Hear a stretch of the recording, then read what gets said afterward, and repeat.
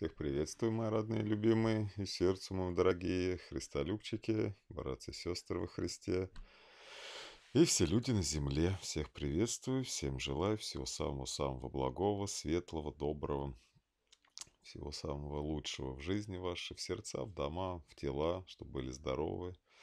Будь здоровье, будет все, чтобы все у вас было хорошо, все у вас складненько всегда получалось, было отличное настроение, мир и радость души. У нас с вами сегодня вот э, такой вот ролик. Назвал я его «Исповедь Христолюбца». Пойдет он, естественно, на канале Христолюб Лайв плейлиста «Обо мне, о моей жизни». На канале Христолюб э, проповеди или голос вопиющего в пустыне.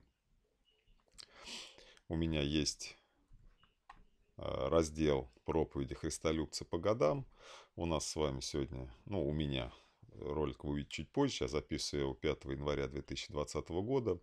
И проповеди по годам, где у меня раздел, есть уже 17 здесь он не виден, 18 19 и вот у нас начался 20 здесь уже 5 видео, сегодня получится 6 Ну, есть, естественно, общий плейлист, где с самого начала все собираю, чтобы можно было включить и последовательно слушать. Вот. Но назвал я его так не, неспроста сегодня, да, исповедь христолюбца, истина вне Христа или иска, и искажение Писания. Я хочу сегодня поговорить о таких э, вещах, как всегда. Прошло все-таки достаточно много времени, сколько я на Ютубе, все-таки не вчера, не один день это все-таки прошел, да. И мне хочется кое-что поделиться, опять и от опыта, и о теории поговорить. Вот э, когда-то на канале Христолюб э, Библия, иные писания, у меня там была даже другая заставка, другая шапка, там был такой монах, когда я все это начинал еще. Это не лайф, это не вот этот, не проповедь, а еще, который сейчас Библия. Он был моим, так скажем, вторым там канал. Ну, в общем, сейчас есть то, что есть, а кто помнит, может быть, давно вот это все видел. И вы знаете, на этой шапке, если всегда стараюсь какую-то, может быть, фразу, какую-то мысль тоже донести, если у меня на лайве там э, в шапке вы найдете «Моя жизнь Христос, а смерть приобретение», то вот сейчас на, ну, на Библии там «А мы проповедуем Христа распятого, воскресшего, вознесшегося на небеса», а, то вот на э, канале тогда бывшем, сейчас Библия, а бывшем он, по сути, мой такой был, я уж не помню, как он даже назывался. У меня тогда на шапке на этой была фраза, была цитата именно из Достоевского. Вы ее сейчас на экране увидите, я вам ее зачитаю. А, и она, кстати, у меня ВКонтакте, в ленте, если до конца долистать, она, по-моему, даже чуть ли не первая у меня в ленте ВКонтакте с того времени, когда я тоже вышел. Так скажем, я же в свое время, как вы уже знаете, в себя уходил тоже, все, рвал все связи с этими соцсетями, но теперь пришло другое время. Теперь я из пустыни уже давненько вышел, стараюсь светить людям проповедью истины, которая есть в любви, в свободе и в бессмертии. И тогда эта цитата Достоевского была мне очень близка. Я говорю, она у меня первая, наверное, на, на стене ВКонтакте была оформлена. Я хотел бы с нее сегодня начать это видео. Почему называется ролик «Исповедь Христолюбца. Истина вне Христа». Ну, истина вне Христа вы сейчас поймете, почему. Исповедь Христолюбца вы поймете вообще в конце ролика, когда я сегодня все это скажу. Ну, об искажениях это я уже частенько по всем время говорю, сегодня тоже скажу это не самое главное. С другой стороны, это и есть тоже раскрытие всей той темы, о которой я сегодня буду говорить. Ну, давайте сначала я вам прочитаю ту цитату Достоевского. Это в одном из, ну, сборник его писем. Люди великие со многими вели, особенно раньше, естественно, когда не было интернета, переписки, причем бумажные. Есть сборник этих писем. И вот оттуда небольшой фрагмент. «Я дитя века, дитя неверия и сомнения до сих пор, и даже я знаю это до, до гробовой крышки. Я дитя века, дитя неверия и сомнения до сих пор, И даже, я знаю это, до гробовой крышки. Каких страшных мучений стоило и стоит мне теперь эта жажда верить, которая тем сильнее в душе моей, чем более во мне доводов противных. И однако же Бог посылает мне иногда минуты, в которые я совершенно спокоен. В эти минуты я люблю и нахожу, что любим другими. Помните мою мысль да, о том, что человек блажен в совершенстве только когда любит и любим.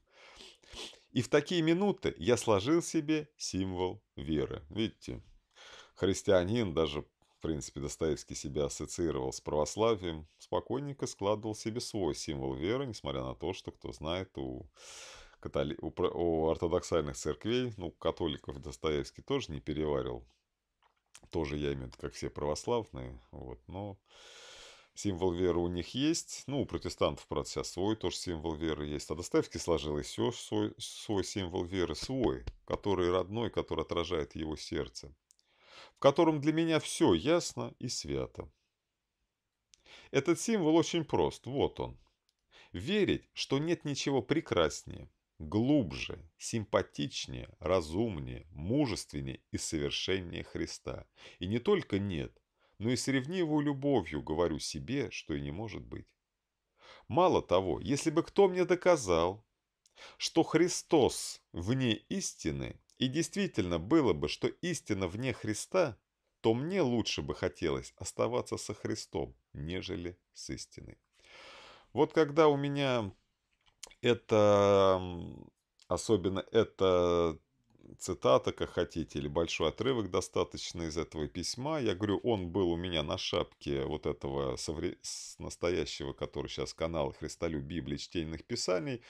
Я на нем просто тогда начинал свои первые подкасты делать. Live у меня был беседами, кто помнит еще. Сейчас он пере... Пере... в live я его переделал.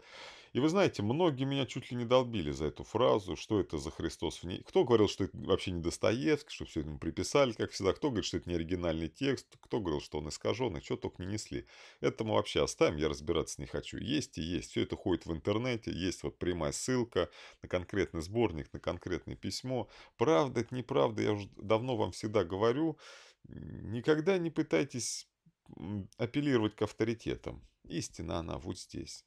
Вы просто говорите, вот и все. И человек, как Господь говорит, слышит слово, откликается на него, если оно истина, и если это сердце алчит и жаждет истины. Вот и все.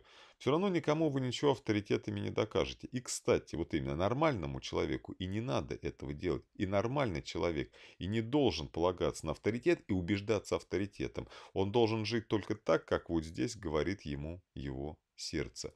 Да, он слышит слово, вера от слышания. Иногда он может слышать просто Бога, может у кого-то истину Божью услышать через кого-то, через что-то, через любой фильм, книгу, цитату, жизнь, поступок, э, наблюдение какого-то события в жизни. Но поступать ты должен так, как ты здесь чувствуешь. Только ты должен быть, критерий один, абсолютно честен с собой, а значит с Богом, потому что Бог внутри каждого человека и просвещает его. Тогда это абсолютный ключ, это истинный путь, Царство Небесное, познание истины теоретически и затем практически, живя по тому, как ты понимаешь. Если ты сам себе врешь, ты можешь других обмануть, да. Но если ты сам себя обманываешь, Богу ты не обманешь. Павел потом так и писал. Бог поругаем не бывает. Всякий делающий зло от зла пожнет смерть. Делающий добро от своего добра пожнет жизнь вечную. Не обманывайтесь, да? И особенно, конечно, задевало вот этих, кто со мной что-то пытались убери эту фразу, это все бред, как это Христос вне истины.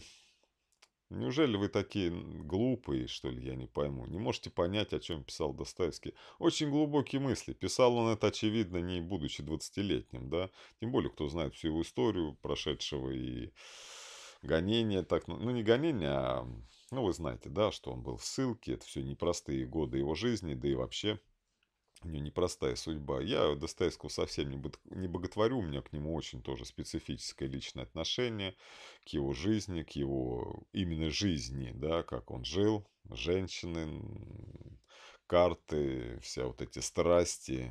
Вот. Да, он необычный, интересный человек. Но, вы знаете, писать можно много красивых словесов, а жизнь твоя может быть совсем не такая. Это только твои мечты, что ты хочешь быть таким. Но человек это не его мечты, а его жизнь. Это очень важно. Вот. За что я вам всегда говорю, я люблю Евангелие о том, что это жизнь и учение Иисуса Христа. И за что я люблю узнавать каждого человека, о его жизни прежде всего, а потом о том, что он говорит. Человек – это его поступки. Вот. За праздничным столом можно всем друзьям петь, какой ты, как ты их любишь, и как ты всегда готов с ними быть вместе. А как только приходит беда, вокруг почему-то не остается ни одного человека. Да? Вот здесь то же самое. Но вообще эта фраза, мысль Достоевского очень глубокая. И вот прошло, в принципе, три, три года, и я хочу еще раз о ней поговорить. Хотя сейчас вы ее нигде, в принципе, не увидите. Ну, кроме там ВКонтакте, можно найти такой же вот типа пост, картинки у меня, по-моему, есть. Тогда у меня и текст как-то, и картинка, я не помню. Или фотография просто Достоевского была, текст был. Или вот типа этого, это я скриншот тоже сделал, ну, с обычного сайта, с какого-то я любой забил. Я даже свой пост искать не стал, он там далеко, его ВКонтакте уже не найдешь. Шапку тоже я уже давно удалил, поменял, а фотографии, которые были на жестком диске, естественно, я эти периодически чищу, и все, что уже ушло, кануло в лето, я не люблю хранить, все это собирать. Вот.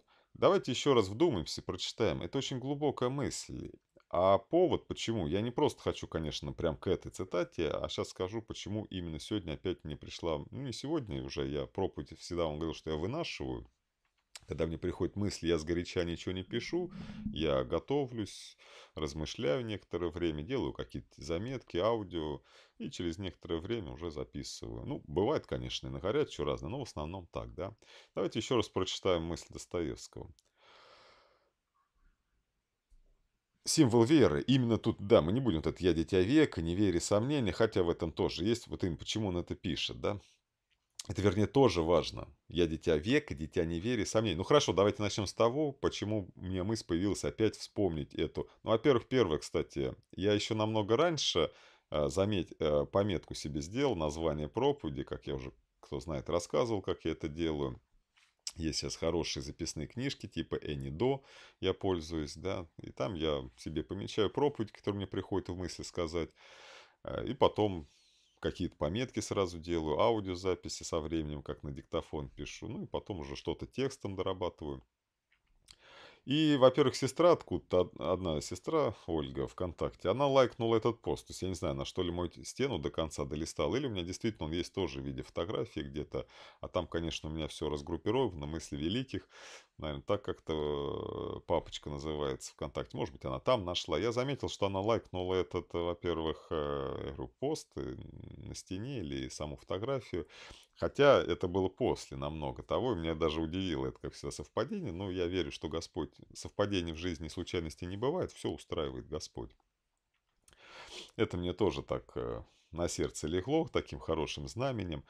И я хотел бы, так как вы знаете, что я христианин, который не относится, не, не отношу себя ни к какой религиозной, религиозной ну, как их называют, псевдохристианским конфессиям, течениям, направлениям, ни к общеизвестным мировым, таким как православие, католицизм, протестантизм, ни к самым мелким сектам. Я обычный свободный христианин.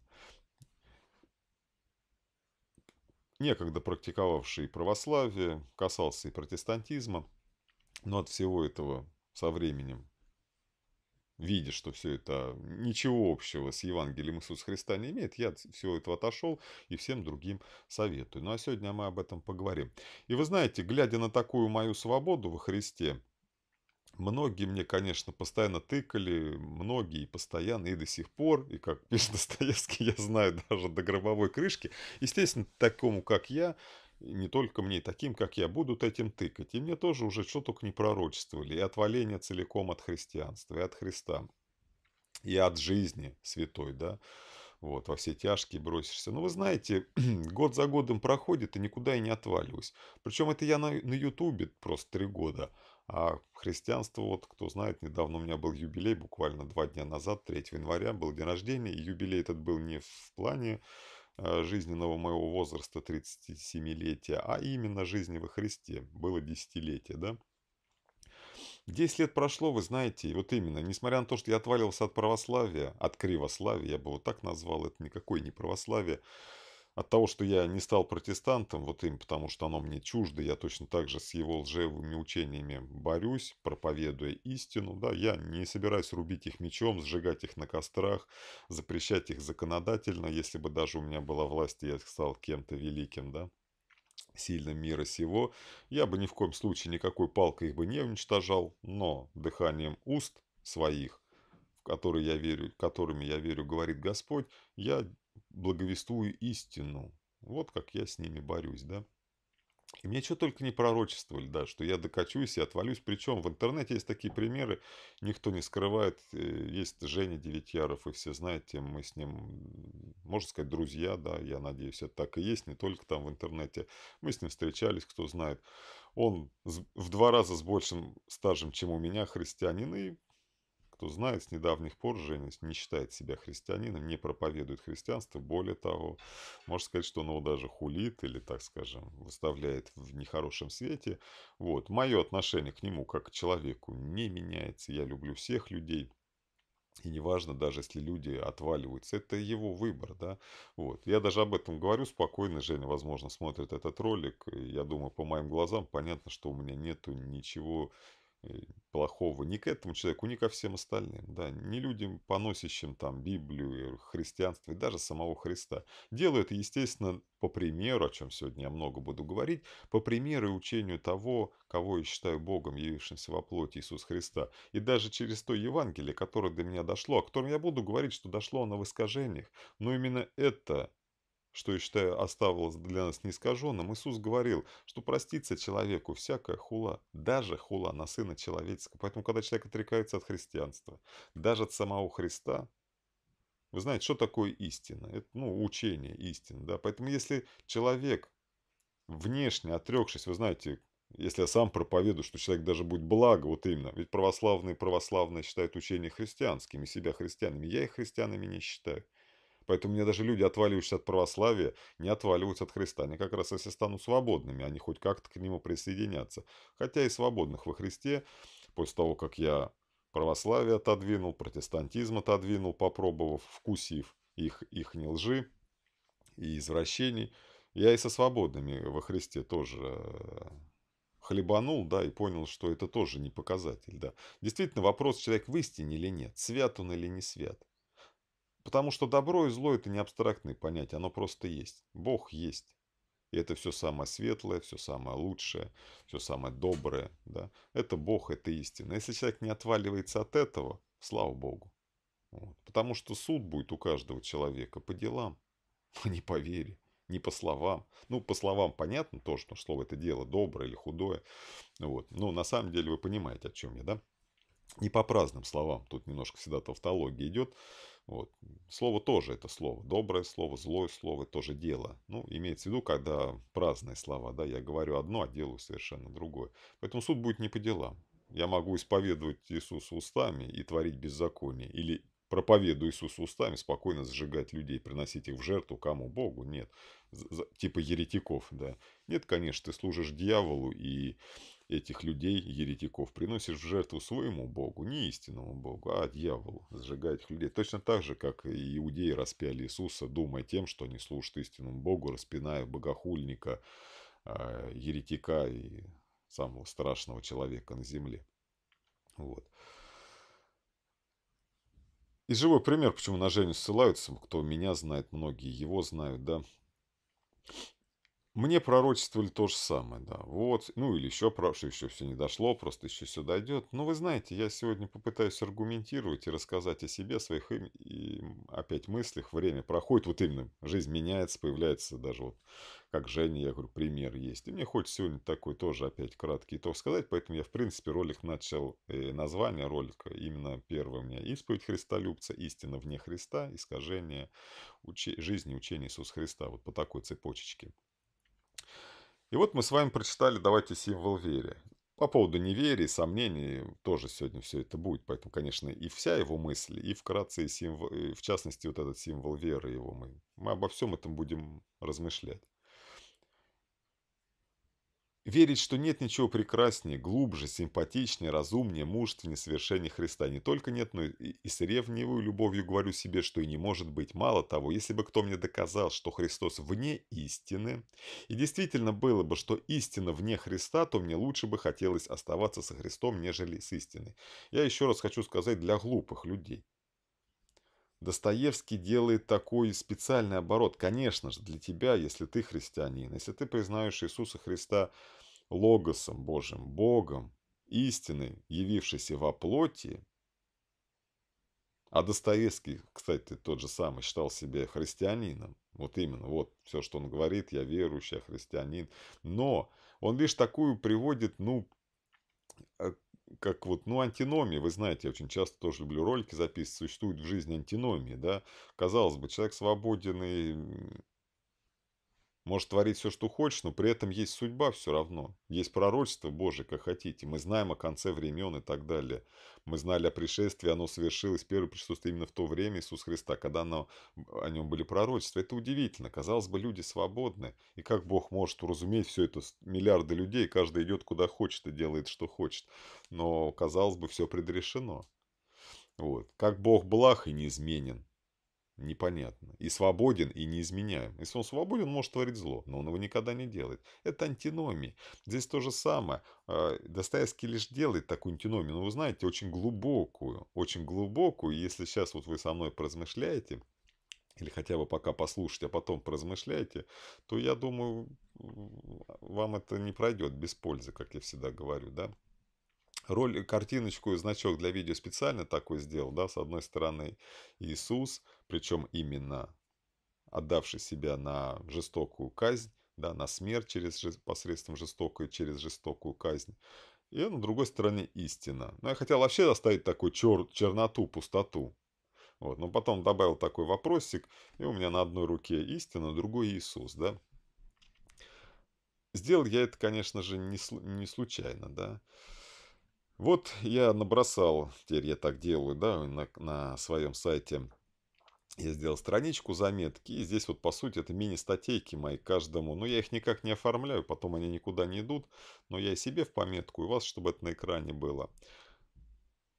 Давайте разберем два пути. Две мысли, которые в, эти мысли, в эту мысль Достоевского можно вложить.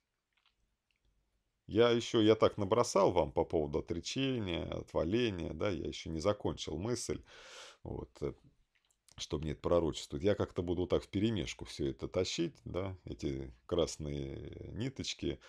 Я надеюсь, вы их на протяжении всего ролика будете держать у себя в голове. Первое. Во-первых, не важно, что имел в виду Достоевский, я говорю, он мог что-то свое иметь. Но мне когда-то эта фраза очень сильно поразила. И в свое время я вложил в нее только один смысл. А вот сегодня я хочу поговорить о двух смыслах.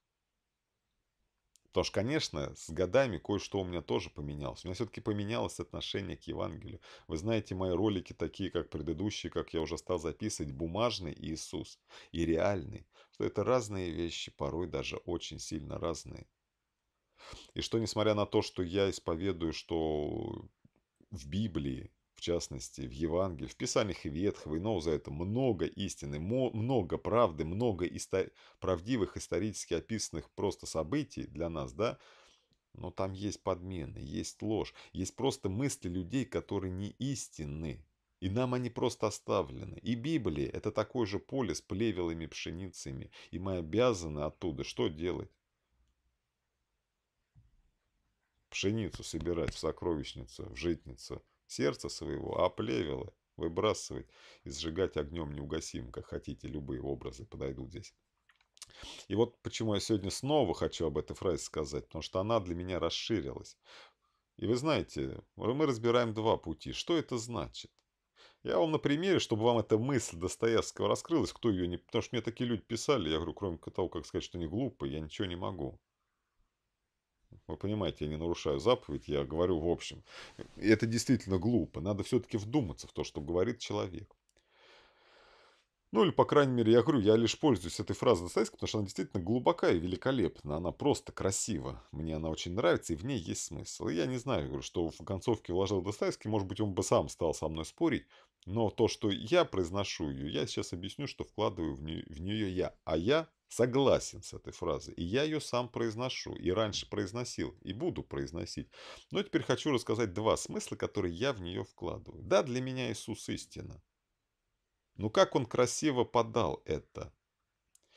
И какие, что это? И тут какой у нас? Почему я не зря на этой э, значке к этому ролику, я с другой стороны, где истина, если вы вот именно, это у меня во всех значках я тоже пытаюсь уложить уже заранее глубокий смысл. Здесь не просто так, вот вы видите вопрос. Это не просто так. А что есть истина, тогда мы должны задуматься.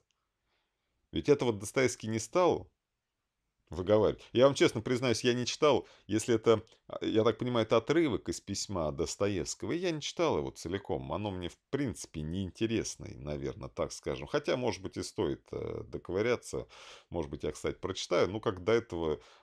А, это же я сам когда-то случайно эту фразу наткнулся, и раз кто-то э, вырвал ее, Возможно, она отражает все, или она является именно той глубокой мыслью, что остальное не важно. Хотя, я думаю, стоит перечитать это письмо в оригинале целиком. Я думаю, что я этим займусь. Возможно, после записи этого ролика. Ну, думаю, что от того, что я сделал это после ролика, и вот, да, не пришла мне такая, видите, мысль при, приходит многие во время записи. Ну, ничего страшного. Может быть, когда-нибудь в будущем что-то еще откроется, и если там что-то такое, я как-нибудь перезапишу или дозапишу, или еще какие-то мысли выскажу. Вот. Но на сегодня нам этого достаточно. И я не просто так здесь на ладони истины, да, поставил вопрос, а что есть истина? И вот в эту истину мы с вами сегодня, я вложу два смысла, которые подразумеваю, которые раскрывают вот эту глубину и прекрасный образ этой вообще фразы глубочайшей. Это я к тому все, что веду, что мне пророчествуют, что я отрекусь от Христа. Вы мысль уловили? Что Достоевский говорит, что даже он повесил на грань весов между... Возьмем пока сейчас евангельского Христа, бумажного Христа, как я это говорю, но который описан э, посредством бумаги, да, вот, бумажного, понимаете, я не в оскорбительном плане говорю, а, ну, как-то надо говорить евангельского тоже немножко может быть непонятно. Я хочу, что именно что люди нам написали, что слово бумажное ассоциировалось все-таки с писаниями людей. Не Бог же, с Евангелия не с неба нам свалилось. Сам Иисус ничего не писал, чтобы потом его ученики хотя бы переписывали. Они реально описывали своей собственной рукой. То есть это не первый источник. Более того, до нас все это дошло. Мы сегодня об этом еще поговорим. Не зря я ролика назвал «И искажение жизни». Эту тему сегодня тоже затронем. Ролик, возможно, получится большой, но вы знаете, коротких роликов писать я не умею. Для примера, чтобы понять вообще эту фразу, я вам дам жизненные примеры, всегда говорю из жизни, чтобы было понятно. Первое. Мне лучше остаться с бумажным Христом, вот именно даже с тем, который написан в Евангелии. Хотя я, я верю, знаю так, я громко говорю, понятно, я вам доказать не, не могу, что Евангелие тоже искажено. В нем есть искажение. В нем не все написано. Об этом я говорил и сегодня еще раз буду говорить. Но, но, мне лучше даже остаться с этим Евангелием на сегодняшний день. Неважно с каким, синодального перевода, нового русского, короля Иакова, Десницкого там или еще кого угодно. Все эти переводы сейчас доступны все в публичном э, пространстве, не то что раньше, да. Люди были, ничего не знали, в католической церкви все читалось на латыни, в православной на, как я говорю, славянско-китайском или на церковно-китайском, потому что для русского человека славянский язык ничем от китайского не отличается. Он его точно так же не понимает. Церковно, тем более славянского, да. Вот. Поэтому, вы знаете, когда мне лучше? И мне лучше остаться с бумажным этим Христом, который до меня сейчас дошел. Если вы мне докажете, как и делают псевдохристианские секты под названием православие, католицизм, протестантизм, что патриотизм – убийство человека на войне ради своей родины и типа защиты близких мечом, автоматом и огнем – это добро. И делая так, я делаю добро, моя душа становится светлей, и я иду в рай. Сюда же подойдет, я не пометил, ну, сейчас уж я так на ходу ты мысли все эти приходят, это одно и то же, я часто говорю, или, либо сжигание еретика. распятие, сжигание, неважно, через какую смерть вы лишите, через какую, как это называется, ну, смерть, да, ну, или как, через какое дело смерти вы лишите его жизни. Этого нечестивца. Как там сейчас э, на Востоке этот ИГИЛ там, неважно, из пистолета его застрелите, голову отрубите. Если вы мне будете говорить, что христианство, Иисус, патриотизм – это истина, то простите.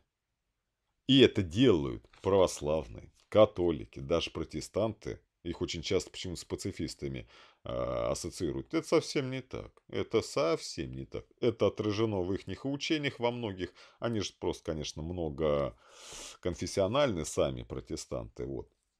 Конечно же, там есть здравые люди, которые говорят, не-не, убивать человека нельзя ни в каком случае. Но это максимум половина. Половина спокойненько проповедует защиту своей родины. Убийство человека. Неважно какого. Ну, в смысле, да. Защищать свою родину, свой дом, своих родственников. Защищать я тоже говорю, как? Груду, гру, грудью и спиной. Да, но не убивать этого человека, защищать, да. Встал грудью, только через мой труп. Знаете всем понятную фразу? Вот так, так делал Иисус. Иисус так и сделал, только через мой труп. Добраться до христиан никто, когда он ходил по земле, не погиб. Пока не погиб он. И за ним он сказал, будет проливаться и ваша кровь. И вот именно христианин это тот, кто полагает свою жизнь. Непосредственно меча его случая. Он не хочет, но его убили. Нет отдает сам добровольно свою жизнь ради того, чтобы явить человеку абсолютную жертвенную божественную любовь, которая для мира сего, для иудеев, безумие, для эллинов, соблазн, да? Поэтому, если мне докажется, что патриотизм или сжигание еретиков – это истина, причем прямо противоположно Евангелию, причем я говорю, почему вы православные, вы вообще что ли? Вы слушаете своих проповедников, что они проповедуют? Это Евангелие. Да я только за это бы отрекся от этой секты. Что летит с уст э, самых высоких патриархов? Вы послушайте их проповеди. Они, они же все заточены на междуусобную вражду. Вас травят, вас как собак, вот этих, которых потом травят друг на друга. Вас злят, вам проповедуют, что все за гранью там плохие что защита Родины, что все там надо убивать. Да только за это, это противоположно даже тому Иисусу, его жизни и учению, которое до вас же, и вы все это читаете в синодальном периоде. Иисус никогда никакого оружия не носил, меча, автомата, пулемета. Никогда никакую родину он не защищал. Когда Петр во время своего ареста, во время ареста Иисуса, Казалось бы, он был абсолютно прав. Он защищал своего учителя. Уж это настоящая истина. Это настоящая Родина, это настоящий Бог. Уж казалось бы, тут ничего выдумывать не надо. Он абсолютно прав, достает меч и начинает рубить головы. Промахнувшись мимо головы, отрубив ухо, одному из воинов, одному из полицейских, так назовем, пришедших арестовывать Иисуса, что Иисус сделал? Скажи, сказал, убери свой меч, я тебе... Он, он три года их учил любить, даже врагов, они ничего так и не поняли. Он говорит, убери свой меч. Во-первых, он не спрашивал Иисус, ну, в смысле, там, кто помнит, он как бы спросил, не ударить ли нам мечом, и не дождавшись ответа своего учителя, рубит эти головы. Ну, с головой там оплошность получилась, ну, ухо отрубил. А Иисус при исцеляет этого полицейского, который пришел его арестовывать. Исцеляет ему и прилепляет это ухо, приживляет его обратно. Вот какой Бог. Более того, исторические факты все в один голос, нет ни одного свидетельства, что во время, через некоторое время, буквально, кто знает, Иудейская война 68-70 года, когда все-таки вот эти горе-патриоты поднимают весь еврейский народ, Иерусалим, вырезают всех римлян гарнизон весь там этот иерусалимский, чуть ли не во всех городах близлежащих начинает резать римлян. Что, вы знаете, происходит? Римская власть посылает войско и Иерусалим вместе с храмом, с капищем. Ну, я называю Соломона по первостроителю, неважно, кто там, что он же Зарававелем был. Эти имена немногие знают, а я называю капищем Соломона. Стирают с лица земли. И свидетели даже еврейских историков говорят о том, что христиан там не было. Они все ушли. Они не защищали свою родину, они не защищали Иерусалим, они не защищали величайшую святыню, храм Господень. Но людям настолько зомбируют голову, что они вот так вот видят, смотрят в книгу и видят фигу. Они готовы исповедовать эти лживые псевдохристианские учения, православие, католицизм, протестантизм, вообще против того, что написано в Евангелии. Жизнь и учение Иисуса Христа. Жизнь и учение Иисуса Христа.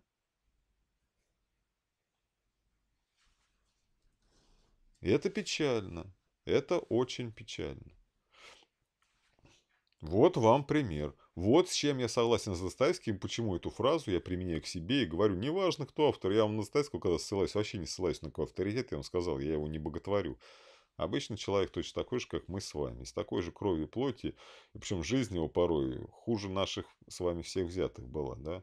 Вот. Но это уж я подшучиваю, Бог нам всем судья. Вот. Но кто знает, как он жил, да, это действительно о многом тоже говорит.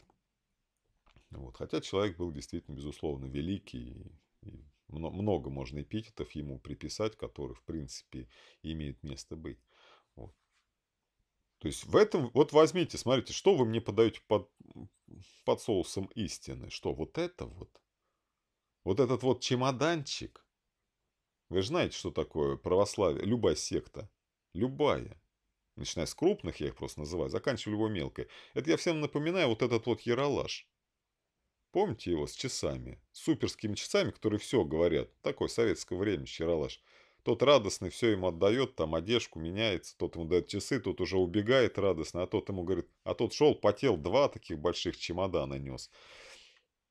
Тот довольно налегке идет, тут говорит, куда побежал-то? Батарейки забери. Два вот таких здоровенных чемодана, которые нести невозможно. Батарейки или аккумуляторы, без них не работает. Да, это не сейчас технологии дошли, маленькие тут эти айфоны или что там. Все с телефоном, и телефончик у тебя вот такой вот, и еще связь. А есть часы и телефоны, все сразу, можно и позвонить. Сейчас, сейчас не так. Сейчас так, а раньше не так было. Вот это, конечно же, вам дают Евангелие. Но правда говорят, что это истина этого Евангелия только в том, как мы вам его, святые отцы там или протестантские учителя вам надавали. Вот это истина. Не то, что вы видите в Евангелии. Иисус никого не убивал, никогда не заповедовал, никакую родину защищать. Вам, пожалуйста, вам втюхали ложь, вы ее сами схавали и другим проповедуете, и других этой блевотиной кормите.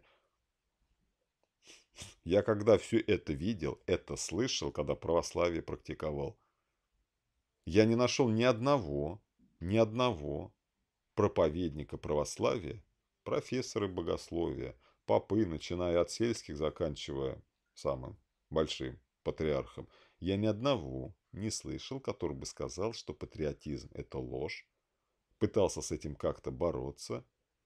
Более того, они еще все это проповедовали как истину. Зачем мне такая ложь? Зачем мне такое Евангелие? Ты уже его исказил настолько, что она не является истиной. Ты людей. Что человек, который убивает, он этого человека, он же сам признает, он грешник, они грешники. Они же дьяволы, они идут убивать наших женщин, детей. Что ты делаешь с этим человеком? В чем ложь патриотизма? Ты убиваешь его. Ты сам же сказал, что он самый грешник, достоин ада. И ты его в этот ад посылаешь. А ты куда катишься? Вместе за ним ты катишься в этот ад. То есть ты ничего доброго не сделал. Другая ситуация. Он супер грешник. Ты встаешь у него на пути. Да, у тебя за спиной семья, дети, родители. Вы христиане, особенно если вы все христиане. Ну, естественно, если ты мужчина, глава семьи, может быть, дедушка, дед, то есть ты самый мужчина в, семь... в большом семействе. Потом идут его дети, то есть отцы. Ну, я беру относительно себя, допустим, я маленький ребенок, мне ну, даже не маленький, мне 15 лет. А может и 10. У меня есть дедушка, он первый становится. Его раз рубит. Дедушка положил свою душу. Вы знаете, убить не так легко. Но фа... та же самая фашистская армия, она состояла из таких же людей. Ребят молодых, зачастую 20 лет, никого не способных убивать. Воспитанных плохо, хорошо также в католицизме и протестантизме. Когда он убивал первого человека, как вы думаете, что он испытывал? Он мог покаяться, тем более, когда им втюхивали, что это все там негодяи, Э, русские люди это такие бесноватые сатанисты. А представьте, он видит, видит таких ягненков, которые без меча, без оружия встречают их с солью, с хлебом. Как вы думаете, безоружный молодой немецкий юноша в 20 лет, поднимется у него рука просто так зарубить дедушку. Русского дедушку, да, который стоит с хлебом с солью. Не знаю. Хорошо, он его рубит. Во-первых, может зарубить его друг. И вы знаете, в нем может воспылать божественная ревность. Он сказать, ты что делаешь? И встать на сторону света этот человек может. Хорошо, он сам решился и убил первого. Вы знаете, убив человека, увидев настоящую смерть, кровь, мясо, вот это все. Смерть – это ужас. Человек может измениться. Хорошо, он идет дальше, встает его, его дети. Мои, грубо говоря, мой отец, допустим, да, которому лет там 40-50. Он делает то же самое. Встает мой старший брат, которому там может быть 30. Сын моего отца. Его тоже рубит. Мне 15, я тоже встаю. Мне 10 лет, это мой младший брат, а он был воспитан точно так же, как я вам сейчас рассказываю, как мы все. И он встает. Встают женщины, бабушки, мама, дочка, внучка. Если воспитывать так людей, если полагать своей жизни, если ты веришь в Евангелие Иисуса Христа, которое о любви, о свободе прежде всего, ты, ты волен выбирать между добром и злом, пойти в ад или в рай. Ты свободен. Второй, ты выбираешь любовь. Ты не рубишь головы, ты отдаешь жизнь. Жертвенная любовь. Почему ты это делаешь? Потому что Христос воскрес. И вы все мои родные православные, вы поете об этом каждое воскресенье, вы поете об этом каждую Пасху, вы это вообще верите, вы не верите в это, вы не верите в бессмертие, вы лжецы, вы обманываете самих себя и обманываете других. Мне ничего не стоит отдать свою жизнь ради того, чтобы человек увидел смерть, сотворил зло. Вы знаете, это же энергия смерти будет преследовать его до конца жизни. Начнутся сниться карманы, кошмары. Бог все так придумал. Этот человек не сможет спать спокойно. Убивая беззащитных людей, человек не сможет спать спокойно. Он погрузится во тьму, его одолеют бесы, кто знает, все это есть в людях, все это существует. Этот человек погрузится во тьму. Он будет жить в аду уже здесь, на земле. Ты-то пойдешь в рай. Ты положил душу свою. Все твоя семья пойдет в раю. Вы через пять секунд будете на Гавайях. Вы будете все в небесном царстве. Что это жизнь? Как в Ветхом Завете написано красиво, вся жизнь-то человеческая, 70-80 лет и то, большая часть из нее – скорбь и печаль болячки и прочие вещи, и труды в поте и, и, и крови лица. Вот вся жизнь. Неужели мы не хотим туда? И этому человек, если ты считаешь, что это самые люди, исполненные ада, что это люди, достойные последнего круга ада и коленей сатаны, тогда ему шанс. Ты оста... Если ты веришь, как все любят в суд, в посмертное черно-белое бытие, в ад или в рай, так если ты любишь по Евангелию Иисуса Христа даже врагов, так дай ему шанс. Положи свою жизнь, пусть он еще поживет. Ты-то в рай пойдешь, ты знаешь истину, что любовь вкушает добро. Ты вкушаешь жизнь вечную, вкушаешь зло, ты вкушаешь смерть. Так дай шанс. Во-первых, сам отправься в рай. И дай шанс ему.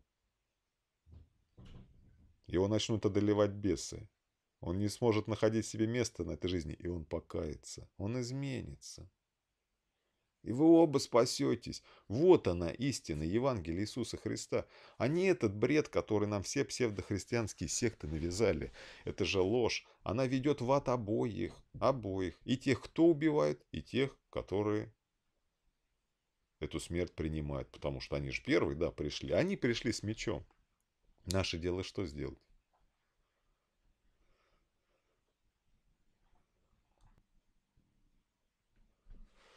Я прервался тут. Ну, в общем, все понятно вам. То же самое с еретиками, кстати.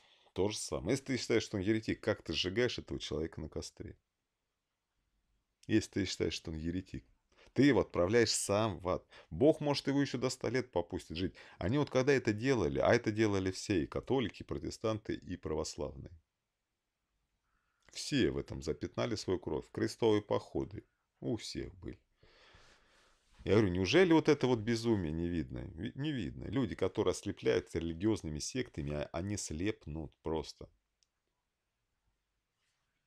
Как вы рот, не то что рот даже затыкали, а убивали этих людей? Как можно... Вот представьте, до чего можно было докатиться. Это делали церковь во главе со своими иерархами. И вы к этим сектам имеете прямое отношение. Почему я не отрекаюсь от Иисуса? Говорю, потому что... Сейчас я этим, конечно, мы сегодня буду заканчивать. Потому что даже то Евангелие, которое до меня дошло, и то, что вот эти секты существуют, это абсолютно разные вещи. Евангелия совсем чуть-чуть не хватает, на мой взгляд, и чего нам подменили. Но это малость, совсем малость. А все остальное это все лжеучение сект. Их спокойно надо выкинуть и жить по Евангелию, по жизни учению Иисуса Христа, по Его примеру. Иисус не сжигал еретиков. Это делали ваши секты, и вы должны отречься от них. Даже несмотря, что они признают, ой, ну это наши отцы, так вы на этих святых отцов и ссылаетесь. Вы именно докатывались до этого, именно благодаря вот им, потому что вы учения человеческие все время принимаете за истину. А почему? Эти же учения человеческие, этих ваших отцов, они нарушают все, как минимум три самые крупные природы бытия – любовь, свободу и бессмертие. Они порабощают вашу свободу, свобода мысли, когда вы можете любому тыкнуть сказать, слушай, это не соответствует Евангелию, давай поразмышляем. Вы не имеете права голоса в ваших сектах. Вы рабы. Вы рабы, причем лжи. Лжи. Вам ломают волю. Вам подменяют истину ложью. И вы сдаетесь. И потом вы уже не способны выкарабкаться. Вы уже, вы уже идете вот с этими автоматами убивать людей, понимая, что это нельзя делать. Вас еще, может быть, теплится искорка надежды истины, но вы уже со сломленной волей не способны противостоять. А противостоять надо было в корне, в словах, в самом начале. И начинать с себя надо было, и проповедовать это вокруг, найти в себе смелость восстать этим системам. Они лживые, они ведут людей в ад реально. Они не делают людей лучше.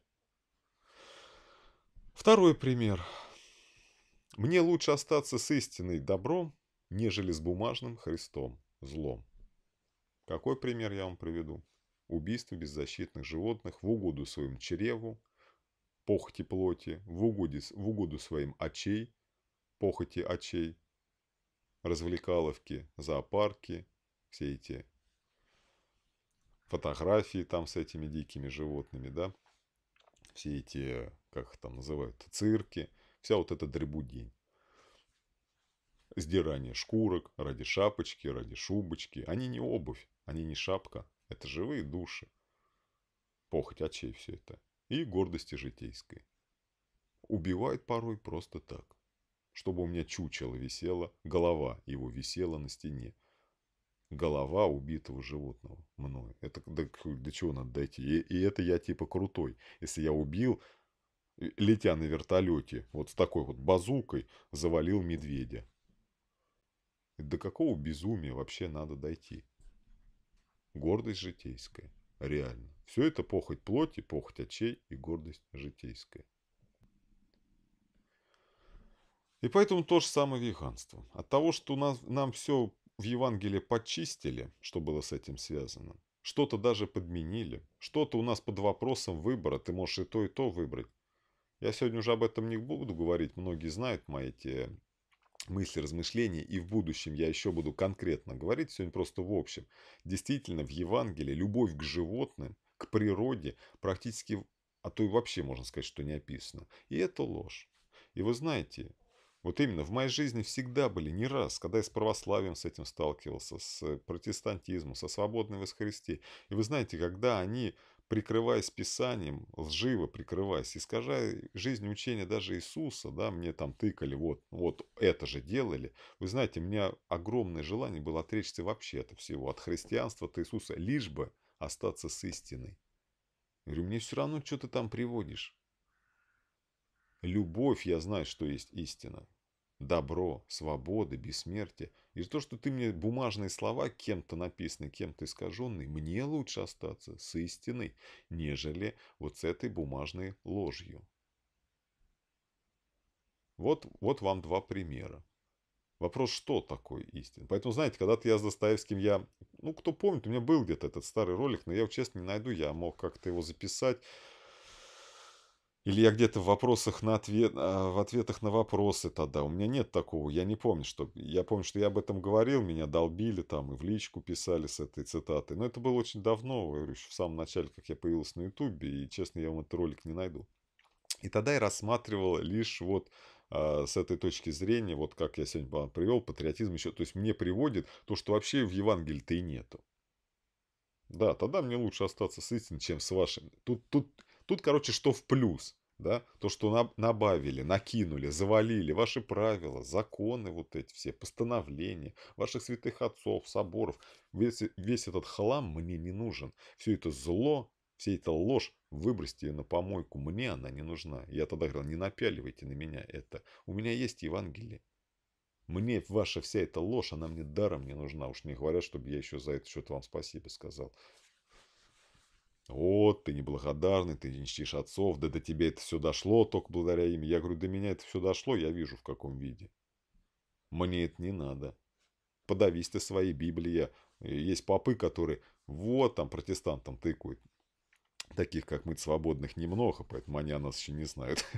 А протестантам, типа, там, дебаты все, это вот, да, из-за нас там Библия до вас дошла. Ну и что теперь?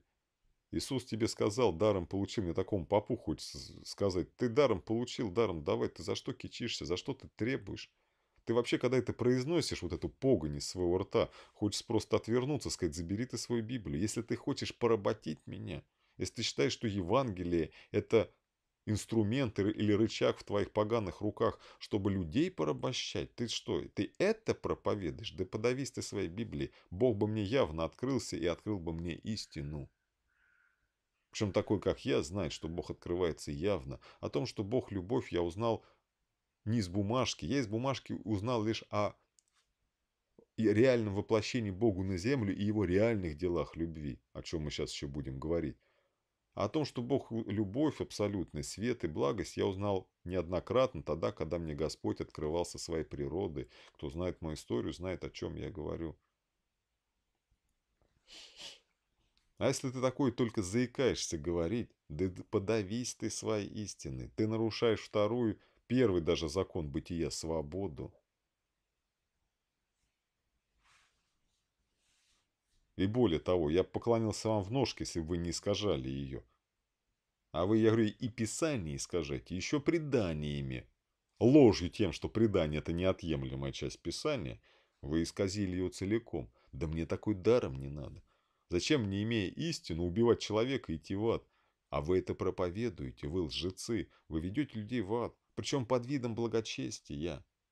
Страшнее некуда, чем вы хвалитесь.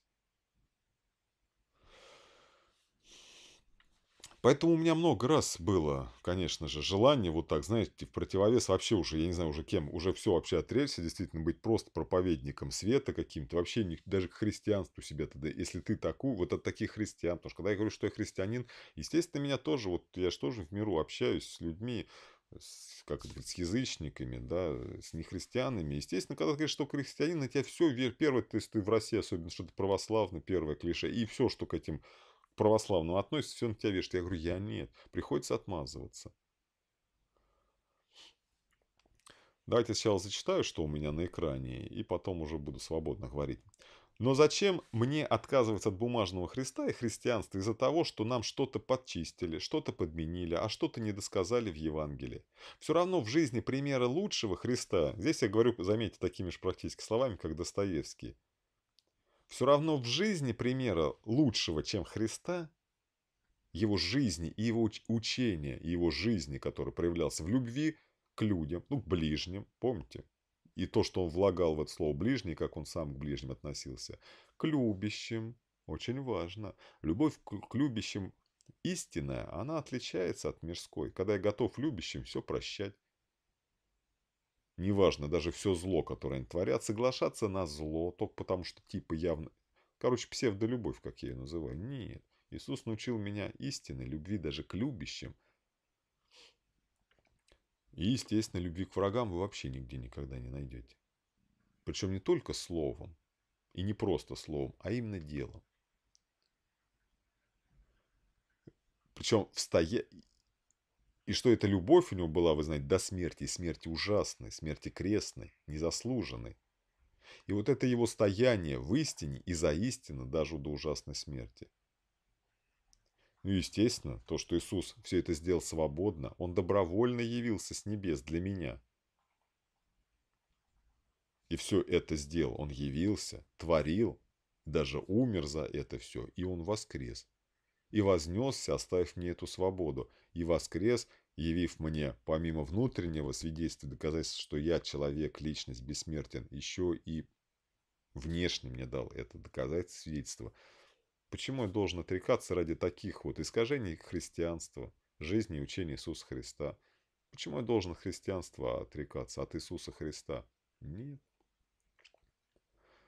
Я верю, что для меня Бог, для меня, не ради меня, а для меня. Не за меня Он умер. Не мои грехи Он нес. Это образные слова, потому что действительно его-то убивали ни за что. И он спускался, ему не было нужды спускаться и, и свои грехи искупать, у него их не было. Я верю, что Иисус это Бог, что Бог являлся на землю во плоти. Как я говорю, то же самое, вот Вторая мировая война – Неважно, с одной стороны одно рассказывает, одной стороне одну и ее детям а, лапшу на уши вешает, другим другую. Но вы знаете, не вы найдете, наверное, человека в мире, кто усомневается, если он вообще знает, если люди, понятно, вообще историю не изучают. Но вы спросите, это была мировая война, вам никто не скажет, что Второй мировой не было. Она была. С какой стороны рассматривать, сколько там лжи, сколько правды, кто прав там, кто виноват. Там все хороши были, кто изучал. Ну, в том, что она была, никто не сомневается. В том, что она приблизительно была э, в Европе, началась оттуда фашизм, Германия, Италия, никто не сомневается. То, что Англия, Россия и Америка были там, скажем, сначала даже врагами, потом союзниками, никто не сомневается. Какие это отношения? Что это за союзы такие, где сегодня мы друзья, завтра враг моего врага, мой друг и так далее? Это другой вопрос. Но на определенный период мы там вместе, потом мы расходились. Общие крупные события, понятно. И почему я должен из-за вот такого вот псевдохристианства, псевдопроповеди э, истины, да, отказываться от явления Бога воплоти 2000 лет тому назад – а явление этой любви. Пусть мне что-то и подчистили, что-то исказили и любовью назвали другое. Я-то сам избираю, что такое добро и зло. У меня есть еще мое сердце, чтобы определять истину. Бессмертие, которое он мне явил своим воскресением, и свободу, которую он мне всей своей жизни и учению показал, что человек абсолютно свободен. Бог даровал ему эту свободу и не нарушает ее. Он пришел добровольно, никого палкой в Царство Небесное не загонял, никаких еретиков не сжигал, родину не защищал, этих ненавистное иго римское не сбрасывал, свободно всем творил добро э, и проявляя этим самым свою любовь, открыл мне это имя, что оно есть любовь. Почему я должен от этого отрекаться? То, что вы мне дела любви в Евангелии подменили какие-то, а каких-то не досказали, до меня не дошло. Я чистотой свое сердце, желанием к познанию истины, к совершенству, к святости, я и сам могу вам такое Евангелие написать. Я сам спокойно теперь могу в Евангелии тоже отделять плевел от пшеницы и находить подмены, находить недосказанное. Где есть выбор, выбрать лучшее. Никто не может доказать, что Иисус ел рыбу. У него всегда был выбор. Написано, ему подали и то, и то, и он ел. Не написано, что он ел. Чистым сердцем выберет, что он ел мед, что он ел хлеб. Грязным сердцем выберет, что он ел рыбу. Каждый по чистоте своего сердца выберет. Иисус для меня явился, вот чтобы я это увидел ради меня. Он не нес мои грехи. Он сказал, ты сам бери свой крест и следуй за мной. Ты сам идешь в небесное царство. Я тебе дал пример. И все это сделали, и я вот говорю, почему, что только сейчас нет, что только опять не проповедует, и маму, и папу на небесах. Отец Небесный, Дух Святой, боги там, сон богов, кто, язык, кто там, что только не проповедует. Я всем говорю, для меня ни мама, кто ее Элем называет, или Эммой, ни папа Эль, ни мама Эмма. Для меня ни какие-то вообще мама и папа, неважно какие, кто их как называет, ни природа там, ни какие-то боги. ни Зевсы, ни Базевсы, ни тысячу богов, еще кто-то, ни архангелы Михаилы, и даже не Отец Небесный, и даже не Дух Святой, а именно Иисус в себе дал мне пример. Эмма или Эль для меня не сходили на землю. Для меня сошел Иисус Христос, Бог, явившийся во плоти. Это очень важно. Не Отец Небесный сошел. Очень легко учиться с неба. Бог. Вот для меня Иисус Бог. Даже просто по жизни. Знаете, как говорят, ты мой Бог. Вот учителя нашли себе, неважно в каком виде, в боевых искусствах, в рисовании, и все, боготворят, как говорят своего учителя. Или кумира, вот он певец. Или она очень красива, звезда ее кумиры, поклонники начинают боготворить. Вот я боготворю Иисуса, его жизнь. Я вам говорил, я ее читал и влюблялся. Это моя единственная, первая единственная любовь в жизни, в которую я влюбился, и моя любовь продолжается 10 лет. Никогда в моей жизни такого не было. Я его боготворю. Его. Он для меня сделал. Он. Он ради меня показал мне путь в небесное царство, что это возможно делать все, что возможно так жить и нужно так жить. И это единственный путь в небесное царство. Единственный путь быть Богом, стать Богом, быть богоподобным, достигнуть совершенства. Почему я должен от этого отказываться? Только потому, что кто-то готов, вырывая... Я уж молчу про Евангелие, не про Евангелие, а про Библию которую назвали Словом Божьим, истиной, и оттуда вырывают все грехи человеческие, и оправдывают все свои грехи и грехи окружающих. Мне это надо, мне даром это не надо. Почему он должен от Христа, от Евангелия отрекаться только потому, что вы, вы... Для меня Библия не Слово Божье, для меня Библия не истина. Там описаны исторические события, грехи и праведные поступки некоторых людей. И я как истинный человек, нормальный, здравый человек, глядя на это поле с плевелыми пшеницами, плевелы, выкидываю пшеницу, пита, собираю и питаюсь ей. Да, но не каждое там слово, там грехов человеческих вот так вот море в Ветхом Завете особенно описано, и вы эти грехи назвали праведностью, сами по ним поступайте и катитесь просто с горочки ровненько и очень успешно на самое днище ада. Я зачем за вами туда покачусь? Мне это не надо. Вам надо, пожалуйста, мне не надо. Вот так вот. Вот так вот. Поэтому я надеюсь, вы поняли, что эта фраза значит для меня, какие у меня планы на будущее. Хотел, да, что такое исповедь Христолюбца, как я мыслю. Да, примеры в нашей жизни есть, теоретических, практических. Кто-то мне вспоминает там исторические, там кого там еретиком назвали, отваливались там или еще что-то. Я говорю, слушайте, я называю всех христианином. Да, для меня даже, даже этот Иисус, этот, который научил меня лучшего примера. И более того, я говорю, я не просто его боготворю, я верю, я всем говорю и проповедую, исповедую и проповедую, что это Бог, сам Бог явился во плоти. Он имеет вид и образ, потому что я сотворен по образу подобию. Здесь нет ничего удивительного. Не я его очеловечиваю и снижаю с небес на землю. Нет, это я его образ и подобие. Он и сказал, вы боги и дети Всевышнего всем. Я лишь в том, что Бог явился во плоти, я лишь убедился, что я действительно его образ и подобие, я действительно тоже Бог. Но одно дело по природе, другое дело стать по сущности. И по природе мне дано все. На самом деле я бессмертен. И воскресную в любом случае. Вопрос во что? В добро и воскресенье жизни или воскресенье осуждения? Бессмертие – это природа. Ее невозможно изменить. Ты просто в априори бессмертие. Вот это вот, это даже не смерть. Это иллюзия. Потому что смерть у человека неверующего сырится с концом.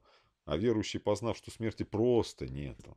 Что такое, когда Павел вспоминал слова пророка «Смерть, где твое жало? Ад, где твоя победа?»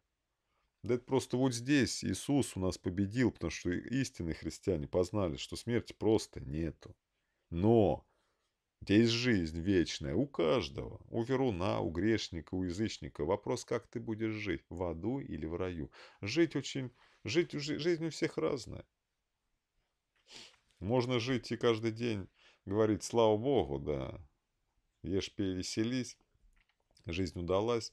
Жить хорошо, хорошо жить еще лучше. А можно каждый день просыпаться говорить, Господи, когда этот день закончится? Зачем он вообще начался, вернее, когда закрываешь глаза, мечтаешь, чтобы завтра не проснуться. Можно жить в аду. Люди очень сильно страдают, многие, от разных вот именно вот этой страдальческой природы, которая после грехопадения мы и эту школу жизни, потому что учитель добра и зла – это боль и наслаждение. Об этом я тоже, кто слушал мои предыдущие ролики, знает, я об этом говорил. Добро и зло, познание доступно каждому человеку, никаких книжек, ничего не надо. Что ты делаешь, испытываешь боль, это плохо. Испытываешь наслаждение, это хорошо. Все, тут очень все просто. Вот и все. И поэтому, почему я верю в одного Бога, в единого Бога Иисуса Христа? Все из этого вы видите, потому что это реальность. Я не верю во все эти иллюзии. Чем мне с кем-то спорить? Там Отец, Сын и Дух Святой, Троица, Четверица, Эмма и Эли. Вы слышите, я на тем вообще, в общем, никогда и целых серий роликов не записываю. Вот так вот, конечно, употребляю. Э, и то, как, как на духу лежит, просто немного живые какие-то примеры, которые сейчас есть в том же самом интернете. А так я просто верю в единого Бога Иисуса Христа. И то, что Он в Евангелии, и так очень хорошим показано. То, что мне подмазали, скрыли эту любовь к животным, к природе. Мне это не мешает не отрекаться от него, потому что все, что говорят, мне скрыли, вот минусы, вот эти две, что я разделил, вам, я не просто так, я говорю, сегодня разделил. Это плюсы, все, что мне прибавили, всю ложь. Меня это теперь, я настолько утвердился в истине, во Христе, что все, что прибавили, наградили люди, даже в Писании, даже в Евангелии, потому что писали его, переписывали, переводили, перетолковывали люди.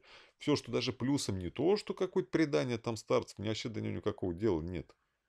Потому что вы сами уже не скрываете, что эти люди, это вы там их святыми назначили, что каждое слово у них чуть ли тоже не истина. Причем читаешь его жизнь, этого святого, думаешь, слушай, мне не то, что его учение читать не хочется, я больше никогда в жизни его жизнь перечитывать не буду. Если он там всем рубил голову за родину, ваши там все князья эти, вы каждого князя, каждого российского князя у вас святой, почитаешь его жизнь, мама, не горюй. Да упаси меня Бог, я всем все время говорю, от небесного царства с Моисеем, с Ильей, с теми, какие они были. Если Илью, Илья и Иоанн Креститель, Притеча – это одно лицо, я вижу, как он изменился.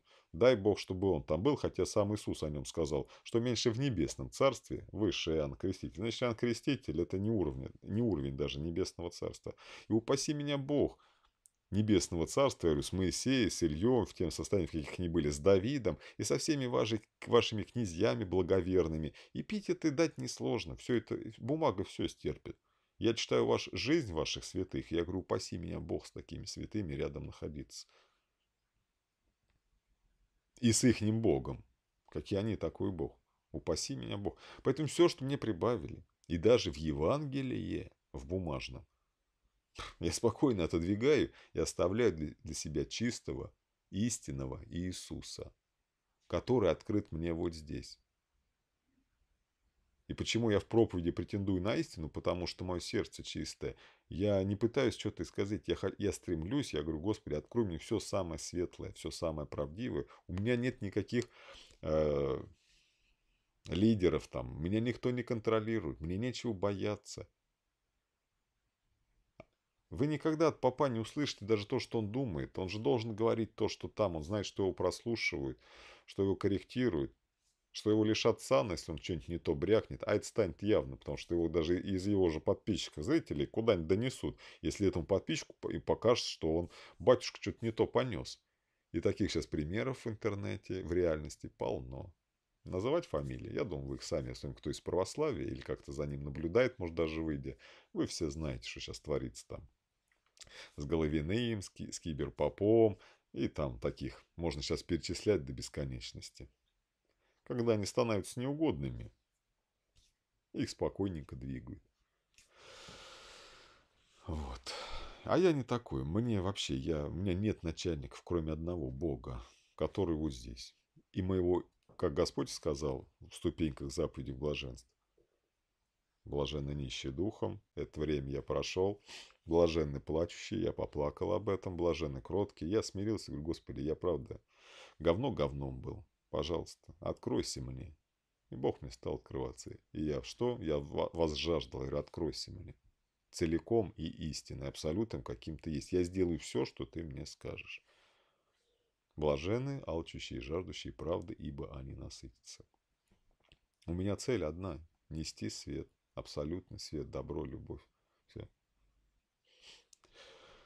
И второй пунктик, наоборот, я говорю, то, что мне минусом, то, что мне не донесли. ну или подменили, отрезали, ну то есть убрали. Неважно как, подмена это тоже убирание, да.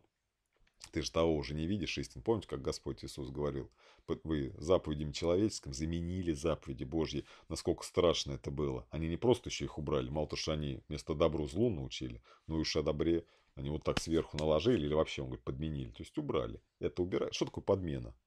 Это убирается на его место другое. Все. Вы вообще не найдете истину. Вот. Поэтому все, что я вижу, нету еще светлого и доброго в Евангелии, а это совсем немного. В принципе, в Евангелии любовь к человеку. Я не знаю, как умудрились. Ну, понятно, сохранили, что он воскрес. Это суть вообще Евангелия. Там невозможно, как вот тогда надо перекромсать, что Иисус не воскрес. Да? Об этом, помню, потом Павел писал. Хотя в церкви, в ранней христианской церкви находились вот такие вот лжецы, еретики, действительно, которые уже говорили, что и воскресения нету. Целое послание, конец э, первого послания апостола Павла Каринской, Каринской церкви, он пытается уже убеждать христиан, раннюю христианскую церковь, когда все это было вот-вот свеженькое. И он целую главу, но это уже по человеческому уделению, посвящает тому же воскресению Иисуса и всех людей. Потому что в церкви, оказывается, уже Христовой, это же самая настоящая, раннехристианская, как ее называют, первоапостольская церковь, уже находится течение, и, естественно, у этих течений есть источник, учителя, которые учат, что нет воскресения мертвых. И Павел там такие доводы, вы знаете, это вся 15 глава, 16, пожалуйста, перечитывайте о воскресении мертвых. Даже тогда пытались. Вот. Воскресение, бессмертие, как хотите жизнь вечная, свобода, она явно в Евангелии, что Иисус, благо этого тоже никак не подменили нигде. Первое, что Иисус сам, Бог, добровольно пришел на землю. Дела творил только добрые. Учением своим и делами он призывал добровольно. Он еретиков не сжигал, меча в руки не брал, палку не брал. Адам, в принципе, не запугивал, кто знает. Он всегда говорил, вы сами пойдете, потому что он говорит, все будут получать по своим делам. И он говорил, опомнитесь. Делайте добро и вкушайте от древа жизни. Делайте зло, неважно, под личиной добра, вкушайте смерть. Все, вы сами идете туда, куда вы хотите. Какая у него любовь к любящим. Далеко не умывание, но хоть вы знаете, я обожаю это место тоже из прощального ужина, из Евангелия. Но мы знаем, что он и говорил спокойно, даже Петра мог назвать сатаной и сказать ему отойти от него – либо выбрать другой путь, отвергнуться себя и пойти за ним, как и всем остальным это предложил, взяв свой крест и идя за ним. Что потом Петр писал. Идти за Иисусом, за подвигоположником нашим, стопочку в стопочку, как он любил ближних, как он любил врагов, чего вы не найдете нигде и никогда, потому что крест Христов для иудеев соблазн, а для эллинов безумие. Я это на собственном опыте испытываю, вот это проповедую. То, что я вам сейчас говорил о патриотизме, я представляю, как вот эти же опять патриоты рвутся и сейчас что мне там в комментариях на... напишут, как обычно. Это невозможно, это все бред, так нельзя. Хотя сослаться на Иисуса они никогда не смогут. Он в Евангелии другой. Вы все подменили. Вот. И вы знаете, пройдя уже вот этот путь, я же от опыта делюсь, это долбежки. Да, когда мне пытались Христа вот мешать с этой грязью, либо наоборот, то, что я прибавляю, а они просто скрыли или верят в это, в то, что этого не может быть, хотя это я приписываю Христу самое доброе. Говоря, что Иисус веган, я приписываю ему добро. Вы, говоря, что он патриот, вы приписываете ему зло. Кто из нас прав? Выберите, я всем говорю, сами себе учителей. Я выбираю Христа вегана. Вы выберете Христа патриота. С автоматом по горло и во рту с, с ножами, картинок таких полно, да, до зубов вооруженного, пожалуйста, это ваш Бог. Но вы будете со своим Богом и с такими, как вы. Я с такими не хочу быть. Мой и ваш рай – это разные вещи. И мы не будем в одном месте, потому что вы сейчас не хотите быть со мной, а я не хочу быть с вами. Значит, Бог разделит, и каждый, вы помните притчу, Господь прекрасно рассказал, будет разделение. О богаче Лазаре вам надо напоминать притчу. Будет разделение. И на некоторое время не смогут оттуда туда переходить. Каждый будет там, где он хочет. Мой рай – это Христос веган, это Бог, любящий все. Да, Он как Отец Небесный воспитывает. Он воспитывает, не мы. Мы друг друга не воспитываем. Мы друг друга Словом просвещаем, как делал Иисус. Это разные вещи. Хотя и он, вы помните, взял кнутик, выгнал всех животных, потому что просто скотина по-другому не поймет, и всех продающих оттуда. Всех этих приносящих животных жертву, все он оттуда очистил весь этот храм, да. Вот, так что вот так вот, вот так вот. В принципе, у меня тут написано ролик, да, большой получится, ну никуда не деться. Уж кому нравится, слушайте, кому нет, уж ничего не поделаешь. Две тысячи лет прошло, конечно же, истина подверглась искажению. Первому иудейскому, потом языческому, ну а дальше и говорить нечего. Но я кратко скажу, конечно, все равно. О чем я говорю? Вы знаете, достаточно всеми же утырно признанной канонической книги «Деяний апостолов». 15 глава, всем известный этот апостольский собор. Но кому-то вам неизвестно, я уже давно убедился, что толк от христиан, они Евангелие не читали, уж не говорят там об остальных писаниях Нового Завета. Ну или читали ничего не видели. Смотрят в книгу, видят фигу. А надо поразмышлять и все-таки немножко углубиться и почитать между строк. Я вам сегодня привел пример, где Павел пишет, что уже воскресение, воскресение Иисуса христиане отрицают. Мы не обращаем на это внимания. А я показываю вам второй вот живой пример. Книга Деяний, 15 глава. Они, видишь ли, собрались по великим вопросам. Нужно ли вообще обрезаться язычникам? Нужно ли им соблюдать закон Моисея? Вы потом подумайте над этим безумием. Насколько они святыми все и просвещенными были. Насколько они поняли учение Иисуса Христа. Я вам скажу, совсем не намного. Собирать апостольский собор из-за такого бреда, значит, ничего не понять. И как вы думаете, если в книге Деяний в 15 главе описано, что вроде бы как здравый смысл победил на некоторое время, написано, что они не стали принуждать все-таки голос там Петра, как мы видим Иакова, может быть еще кого-то, возобладал, но как мы видим целый собор собрали. Целый собор. Как вы думаете, что если в этот раз не получилось, через год это не получилось? Получилось. Мы с вами это знаем. У них не просто получилось, а как мы видим, христианство вообще, жизнь и учение Иисуса Христа вообще не прижилась у евреев, у Божьего народа. Все мы с вами это знаем. Две тысячи лет прошло, 2020 год на дворе. Крупицы евреев есть христианствующие. Крупицы. Целый народ отверг истину казалось бы, который по Ветхому Завету назван народом Бога. И он, это не народ Бога, ему не нужен Бог. Им нужна ложь, им нужна зло, ненависть.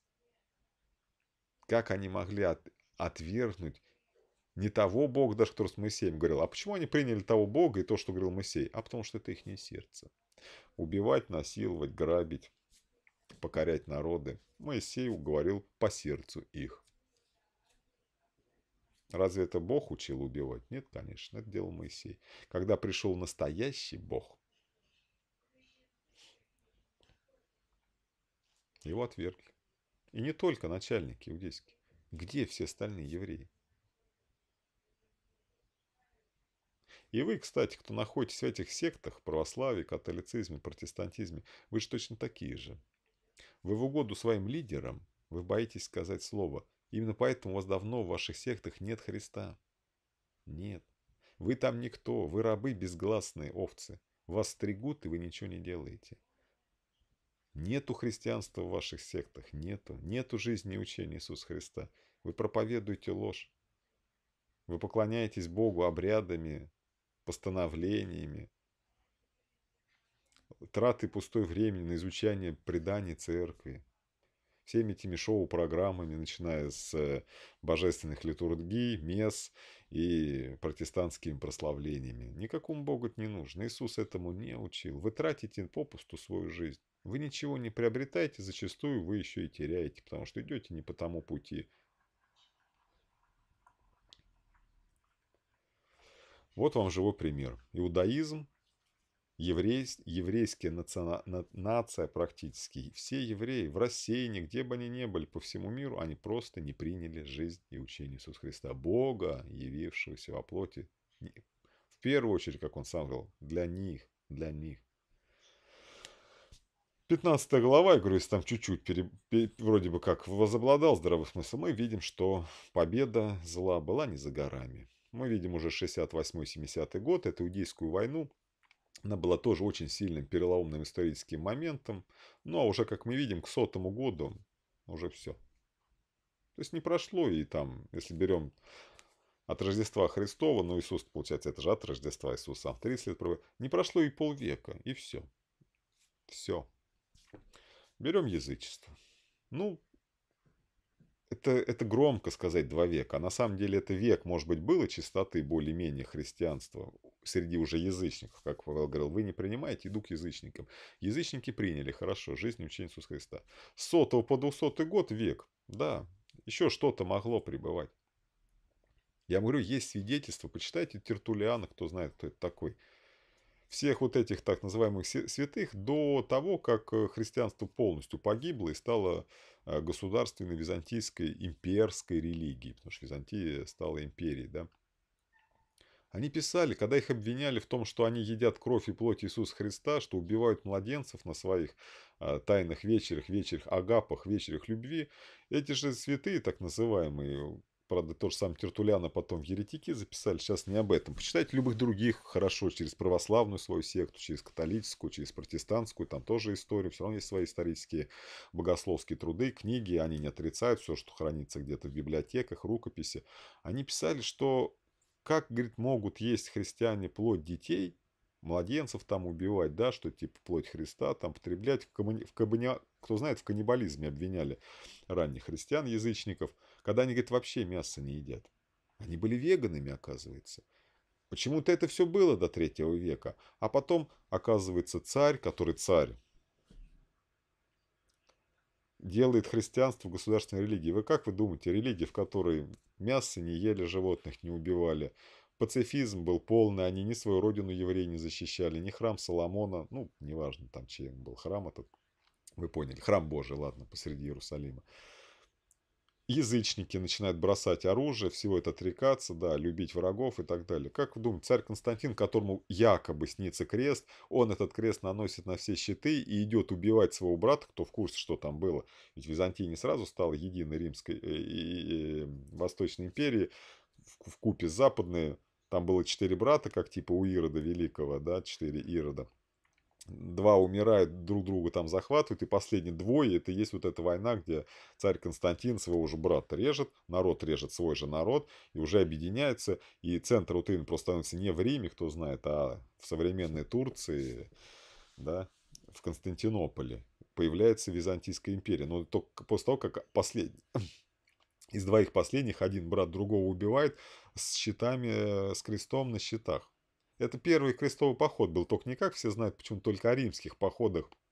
Уже 9, 10, 11 и так до 14 века крестовых походов, уже типа хри христиан, римлян, уже типа, потому что кто знает, с 7-8 века пошел мусульманство, там э, с востока уже на Византию, и типа чуть ли эти не крестовые походы были уже битвы с мусульманами, освобождениями, но кто знает, там было все совсем не так.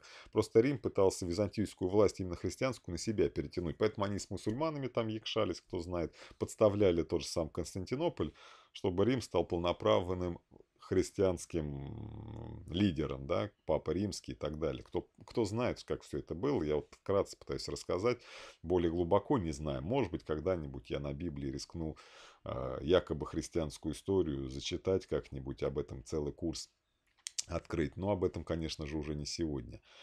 Как вы думаете, могло такое христианство принять царь? Нет, конечно. Его очевидно, что его подмазали и адаптировали под э, как сейчас православие. Это же есть православие. Вот там тогда, кто знает, ортодоксии стало. Пожалуйста, убивай врагов, убивай животных. Все стало, как стало. Культ. Полностью расцвел культ уже, все, пышные богослужения и так далее. Разве это истина? Конечно, нет, да?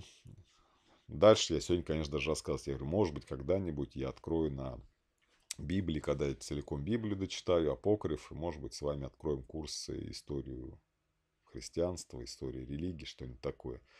Тогда да. Сегодня я могу лишь вам вкратце сказать, поэтому я говорю, а дальше я написал, даже и говорить уже нечего. Это надо уже целый курс открывать. Византия, ну, возьмем с 4 по 14, так кругло, чтобы 10 веков, и уже с 14 по 20, причем отдельно надо Европу смотреть, отдельно Россию хотя бы, да и даже уже Америку, Колумб, и что там творилось. Там, кстати, тоже интересно, ну, вы все знаете, как там порабощались народы, и какое христианство несли испанцы с голландцами и прочими англичанами на э, континент Америки. Огнем и мечом. Убивали всех майя, всех индейцев во имя Христа. Так насаждалось христианство. Потом порабощали, потом завозили оттуда афроамериканцев.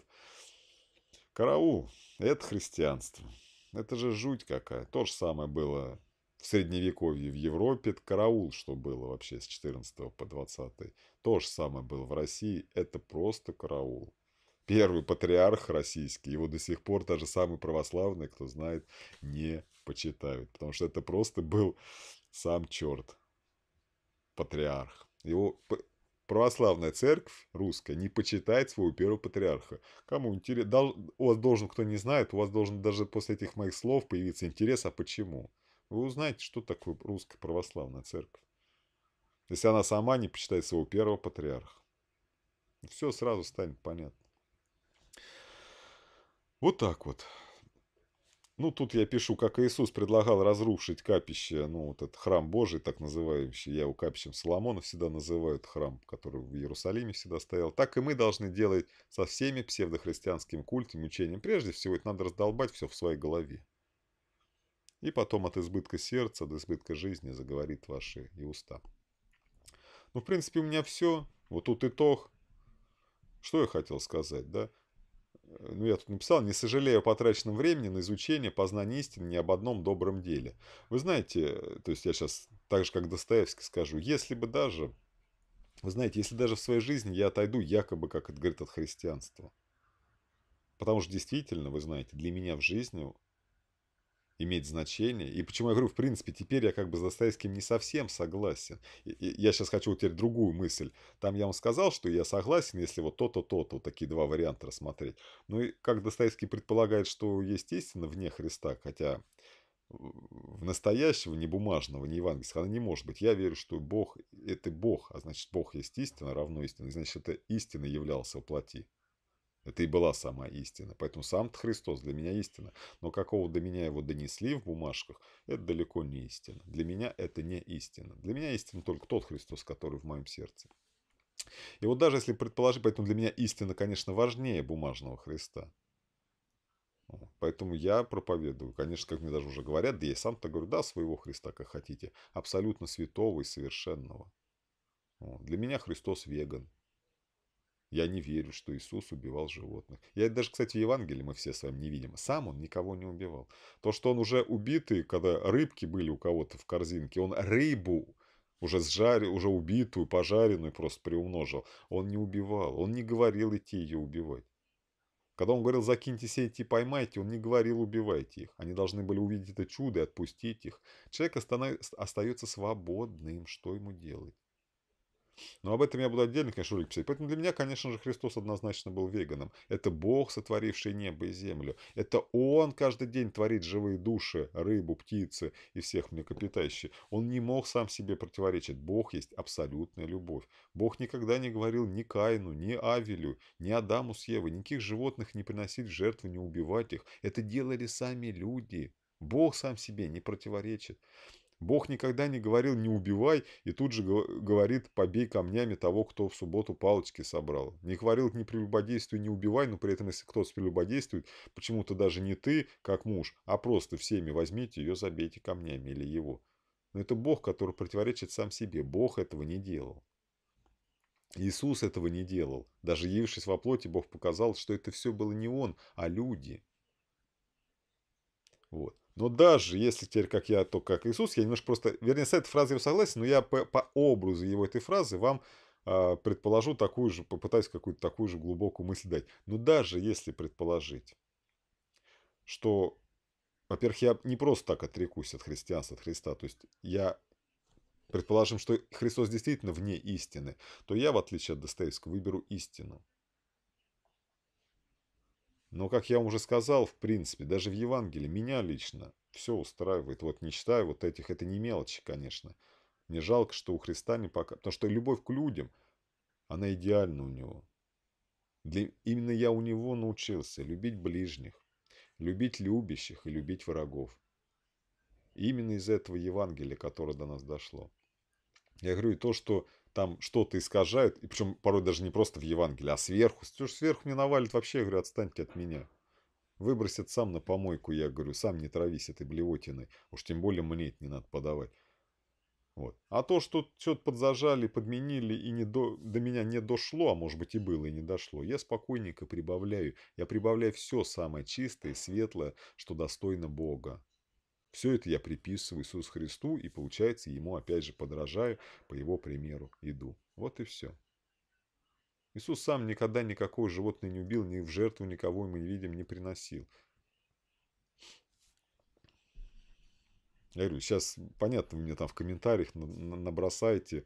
Он им сказал приготовить Пасху. Не он, а они спросили.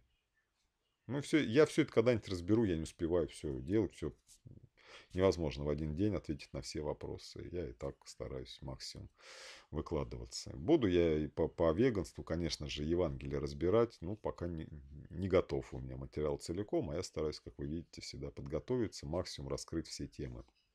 Я этим занимаюсь, это все в процессе.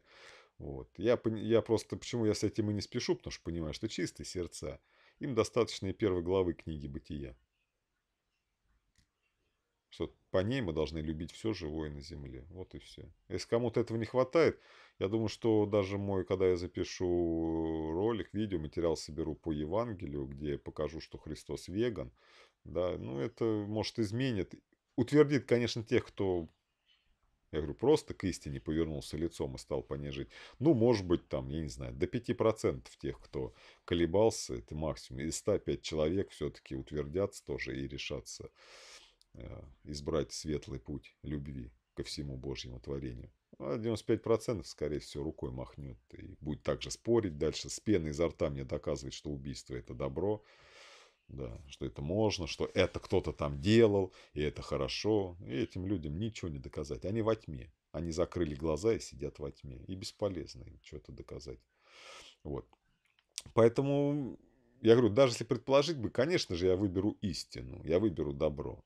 Но я вам, как уже сказал, теперь я вам зацикленно говорю, что мне проще Иисусу просто приписать то, что от него отняли. Вот не, не брать то, чего у него вообще не было, и ему приписывать. Зачем мне все это зло? Зачем мне из Иисуса делать патриота, ссылаясь таких святых отцов на князя Владимира, на князя этого, на, на Сергия Радонец, который благословил, и два монаха пошли убивать э, людей. Зачем мне это надо? Зачем мне все это вообще? Если Иисус пришел и все мне явил. Все. Он не говорил, что потом апостолы будут вам. Он сказал, пойдите сотворите и научите всему, что творил и чему учил я. Вот какая была, кто помнит, последняя заповедь, последнее обращение, хотя он об этом говорил постоянно в течение всего своего служения. Ну, и этим заканчивается, кто помнит Евангелие, да. В частности, такие прям слова это в Евангелии от Матфея, Марка, где Господь посылает на проповедь учить тому и соблюдать то, что делал и чему учил соблюдать Иисус. Все. Зачем мне ваша извращен, извращенная ложь? Зачем я буду шествуя за ней, идти в ад. Зачем? Эта приманка ведет меня в другую сторону. Вы у меня морковку как повесили у осленка, я не туда иду. Нет. Вот, так что вот так вот. Надеюсь, я вам тему раскрыл. Вот такая моя исповедь. В чем она заключается? Потому что я говорю, тоже мне говорят, нет, у меня сердце. Когда-то было, были такие сомнения, как вот Достоевский начал. не зря весь этот кусок, не только у символ веры прочитал что я ничего не встречал совершеннее, искренне. Я вам говорю, всегда у меня Иисус возрастает больше в глазах, когда исповедую, что это Бог. Он имел власть не делать этого, и он сделал. Это добровольная жертвенная любовь. В моих глазах он Бог, он совершенство. Особенно, когда ты можешь этого избежать. И он добровольно дал мне пример. Для меня это величайшая жертва для меня принесена. Он для меня это сделал. Потому что я бы никогда не поверил, что так можно. А я вижу, что так можно и так нужно. И я пробую, понимаю, что это благость. Что это путь правильный. Я сам спасаюсь и спасаю других. Вот. Поэтому мне, я говорю, отрекаться, сколько уже было, для меня светлее, как там Достоевский писал, да, совершеннее, превосходнее, разумнее, лучшего примера в жизни нету, нету. Вот. Поэтому я думаю, что я и дальше буду христианином. Я с удовольствием людям все время говорю, до сих пор с кем в миру, э, благовествую именно то, что написано в синодальном, как хотите, в новом русском. Дарю и раздаю эти Евангелия у меня. Покупаю или сам там заказываю в полиграфии, кто знает. Вот, то есть я именно этого Иисуса всем и проповедую. Да, потом, кто захочет, у кого будут вопросы, я знаю, что я могу дать человеку ответы на все эти вопросы. Да. Вот, что-то где-то подмазали, что-то не так. Но то, что он прочтет и познает реально этого Бога, пришедшего во плоти, того даже, который нам до сих пор, я говорю, до нас дошел в синодальном, в новом русском. Ну, я беру самый крупный, не буду вам все перечислять. Переводы самые основные синодальный новорусский, это благо для человека, когда он узнает эту истину что Иисус, любовь к людям идеально описана, да. Вот. Это тогда надо от Библии отречься. Первая глава, вы знаете, какая, первые три главы, как, как, какую несут истину. Вот. Книгу пророка Ионы, кто знает, и кто со мной ее прочитает скоро, дойдет, вы удивитесь просто. Это, это божественная книга. Это книга тайны, опять имени Божьего, конечно, которой есть любовь, и тайны развития другого сценария развития человеческой истории, если бы Адам с Евой покаялись. Это удивительно. Это удивительно. Вот. Как, если мне от этого отрекаться, надо от всего этого отрекаться, а я не хочу. Я вижу в этом истину. Вот так вот, вот такая вот, поэтому все эти обо мне мысли, пророчества, меня устраивает, я говорю, синодальный, новорусский, евангельский, бумажный Христос в том, как он есть в отношении любви к людям, в отношении недостающей у него отнятой любви к природе, к врагам, казалось бы, что он об этом не учил. Я считаю, это неправда, до нас все это исказили. Вот. Даже, даже, вернее, к любви к людям даже, какие-то вот места, кто там цепляет какие-то слова, не все правильно переведено бывает, кто мои ролики смотрел, кто сам читал, кто читал разные переводы, то все это видит. Значит, все это человеческое. Вот, как было в реальности. Иисус говорил даже не на, греческом, не на греческом рукописи, который наво, находят и там как бы переводят. Иисус вообще говорил на еврейском, на древнееврейском. Вот. Есть все это надо понимать, к этому здраво относиться, и тогда истина всегда будет вам доступна. Она доступна каждому человеку, не через бумажки. Бумажки лишь тоже средство, лишь дополнение. Прежде всего это вот искреннее желание, честное желание перед Богом познать истину и жить по ней. Знаний недостаточно. Господь сказал, что книжники, ничего не делающие, не входят в небесное царство. Знать путь и пройти не одно и то же. Иисус говорил, слышащие и не делающие подобно людям безрассудным. А слышащие исполняющие, да, люди благоразумные, построившие дом свой на, на камне, да. Ну, на этом все. Надеюсь, вам было интересно, назидательно, полезно. Вы многое вынесли. Если пребывали во лжи, в неистины, к ней обратитесь. Я сегодня об этом много говорил. Пора заканчивать. Я вам всем желаю не только прийти в совершенство любви, как писал апостол Павел, действительно прийти в совершенство познания истины и любви. Потому что моя жизнь – это мое мировоззрение прежде всего. То, как я мыслю, так я буду и поступать. Поэтому вам желаю познания, совершенства, познания совершенства истины теоретической и жизни по ней, то есть достигнуть совершенства в любви. Потому что бессмертие, оно вам априори принадлежит, свобода у вас есть, вы можете только сами ее отдать, вот. но вы абсолютно свободны даже перед лицом добра и зла выбрать добро. Даже когда вас будет лишать не только материального, не только здоровья, но и самой вот этой временной жизни. Все, поэтому только через это совершенство в делах любви ко всему Божьему творению мы достигаем Бога подобия и становимся законными Его детьми, ибо делаем так, как делал Он. Все, на этом у меня все. Всех по-братски обнял, поцеловал. Всем уже пожелал, наверное, это самое лучшее, что можно пожелать, я говорю, достигнуть совершенства, богоподобного совершенства, изменив свою природу через дела любви ко всему Божьему творению. Пока-пока, до встречи в следующем ролике.